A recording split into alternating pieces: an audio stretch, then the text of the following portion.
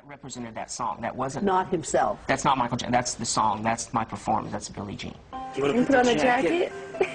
And these were people who knew the man behind the music, Michael Bush, you're gonna like this. This is you working. knew him stripped of the artifice he so cleverly showed the world. Unguarded moments captured by Karen Faye. I'm not lit properly. This isn't fair. Oh, that's right. Where's the bounce card? ABC News paid to license footage and photos from his three friends' private collections. His inner circle was determined Jackson would exit as the world had known him, as a showman. Roy.